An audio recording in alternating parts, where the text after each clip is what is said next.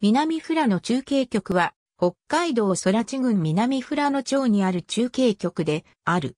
正式には、イクトラ中継局と空知金山中継局の二つである。ここでは両方とも記載する。イクトラ中継局イクトラ中継局空知金山、中継局空知金山中継局南富良野町、全域。空知金山中継局は、富良野市東山のごく一部地域もエリアに含まれている。南富良野イクトラ中継局は、NHK 旭川放送局が2009年10月15日、TVH を除く民放各局が2010年12月10日にそれぞれ開局。空知金山中継局は TVH を除いて2009年12月24日に開局した。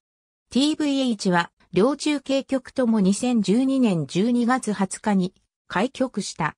当初、民放は両中継局とも自力建設困難となっていた。アナログ未開局だった TVH は、両中継局の整備工事費、約4783万円を盛り込んだ平成23年度、一般会計補正予算案が2011年12月20日の町議会で可決されたことから2012年度内の開局が実現することとなった。ありがとうございます。